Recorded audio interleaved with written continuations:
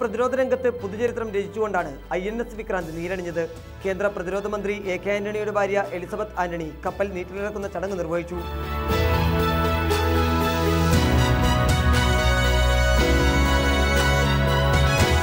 നിർമ്മാണത്തിന്റെ ആദ്യഘട്ടം പൂർത്തിയാക്കിയാണ് ഐ എൻ എസ് വിക്രാന്ത് നീറ്റിലിറങ്ങിയത് ഇന്ത്യൻ നാവികസേനയും കൊച്ചിൻ ഷിപ്പ്യാർഡ് ലിമിറ്റഡും സംയുക്തമായാണ് കപ്പലിന്റെ ആദ്യഘട്ട നിർമ്മാണം പൂർത്തിയാക്കിയത്.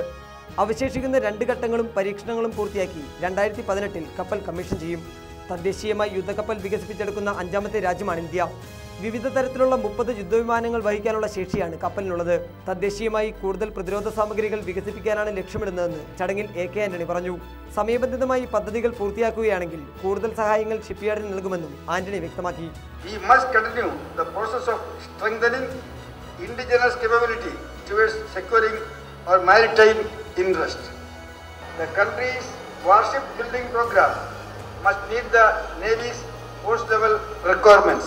കേന്ദ്ര ഷിപ്പിംഗ് മന്ത്രി G K Vasan admiral D K Joshi എന്നിവർ ചടങ്ങിൽ പങ്കെടുത്തു കൂടുതൽ പ്രതിരോധ സാമഗ്രികൾ തദ്ദേശീയമായി വികസിപ്പിക്കുകയാണ് ലക്ഷ്യമെന്ന പ്രതിരോധ മന്ത്രിയുടെ പ്രഖ്യാപനം കൊച്ചിൻ ഷിപ്പ്യാർഡിനും ഏറെ പ്രതീക്ഷകൾ നൽകുന്നതാണ് P S Vimal Kochi India Vision